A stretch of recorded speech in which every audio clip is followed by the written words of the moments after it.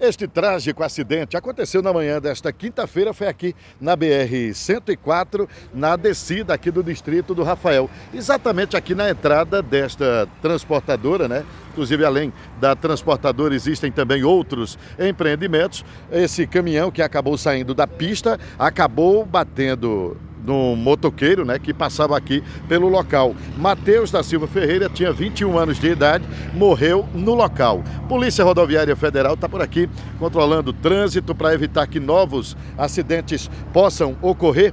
O inspetor M. Portela vai conversar conosco aqui.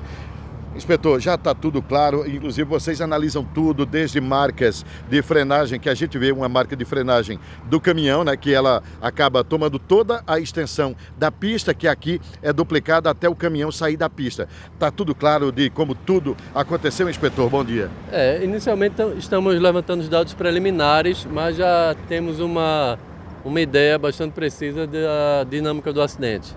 Inspetor, como foi? Aqui a gente vê que há essa transportadora, né? Aqui próxima à, rodovia, né? E o acidente aconteceu exatamente na saída dessa transportadora. O caminhão saiu da transportadora, é isso? Não, o caminhão vinha seguindo o fluxo.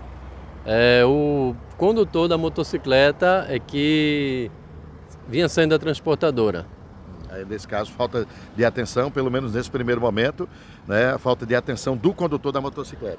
É, de fato ele cruzou a pista, então inicialmente a gente ainda não sabe os motivos que o levaram a isso. Há rumores de que ele estava se sentindo mal e que no momento de pânico, agonia ou algum mal, mal súbito que ele estava sentindo, ele acabou cruzando a rodovia de forma é, inesperada e de forma súbita não houve tempo para o, o motorista do caminhão reagir. Ele ainda, pelo que a gente vê aqui na marca de frenagem, ele tentou tirar, né? tentou evitar o acidente.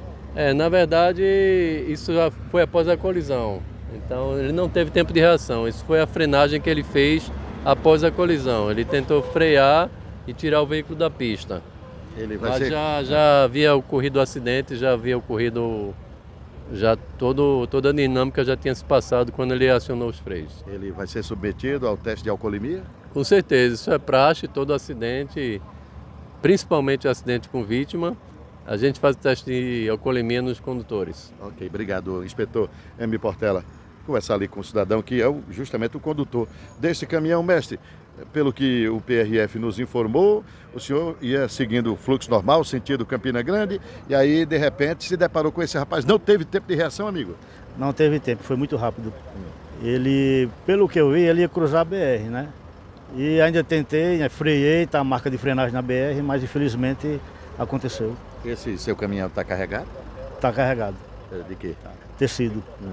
E, infelizmente, né, o risco quem trabalha nas estradas, né, é, tem que contar também com a sorte. Infelizmente, nem sempre um, a, a direção defensiva pode salvar a vida, né? Isso, isso. A gente faz o máximo para evitar, né? Com uma experiência que eu tenho mais de 28 anos de estrada e infelizmente eu fiz o máximo que eu pude, mas aconteceu. É triste. Um rapaz tão jovem, 21 anos, segundo informação, mas não, não teve o que fazer. Foi uma fatalidade, né? É, o senhor é de onde?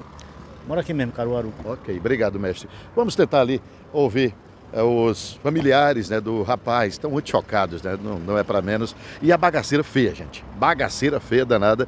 Olha aqui, onde foi parar a cela né, da motocicleta. A moto já foi parar a cerca de 10 metros aqui de onde foi parar a cela. Aqui já é, vestes do rapaz, a bota então, realmente, uma bagaceira muito feia, né? O corpo do rapaz está ali embaixo é, do caminhão, né? Ali na parte de trás do caminhão, que deixou uma enorme marca de frenagem aqui na rodovia. E aí, o choque, né, para os familiares não é para menos. Rapaz de bem, 21 anos de idade, flor da idade, né, gente? Na flor da idade, que infelizmente acabou perdendo a vida. O cidadão está aqui conosco é o, o, tio da vítima. Mestre, qual é o seu nome, cidadão? Jusimar Mário da Silva. Ô, Jusimar, que tragédia, irmão, que acometeu a tua família. Mesmo. Exatamente. Assim mesmo, né? Ele morava no Rafael, né? Morava sim, senhor, aqui na Vilinha. É. E a propósito, ele tinha é, algum problema de saúde? Porque de acordo com o PRF, ele pode ter tido um problema de saúde e tal, porque ficou é, justamente meio que desordenado na pista.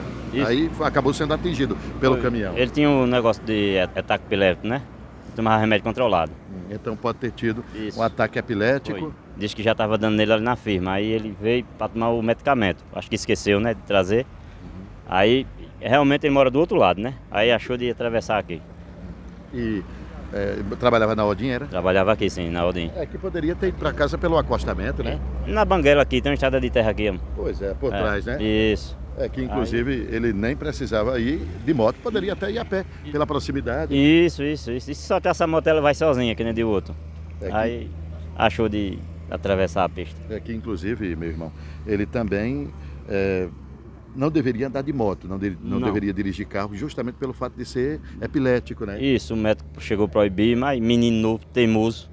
Aí deu no que deu, né? Nosso sentimento de pesar, irmão. Obrigado. Obrigado. Então tá aí, gente. Tragédia, né? Que infelizmente acometeu este rapaz, Matheus da Silva Ferreira, apenas 21 anos de idade, acabou morrendo vítima deste acidente ocorrido aqui no distrito do Rafael, zona rural de Caruaru. As imagens são de Davidson Robert, repórter Adielson Galvão.